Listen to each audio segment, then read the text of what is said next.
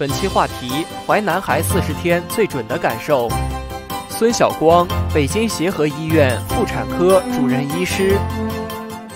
呃，这个其实呃，生男孩还是生女孩呢，都是一样的，就是呃，目前在我们国家哈，呃，就是男性呢，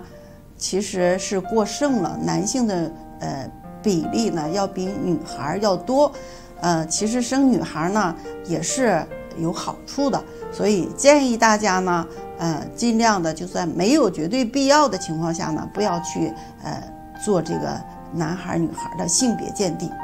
呃，因为这个呃头三个月啊，呃，这个无论是怀男孩还是怀女孩，都可能会有一些呃妊娠反应，比如全身乏力、恶心、呕吐、厌食，然后。呃，乳房胀、下腹下坠、尿频等等，这些呢都是早孕的表现。男孩女孩呢都是一样的，没有什么特别的不同。所以呢，靠这些症状来呃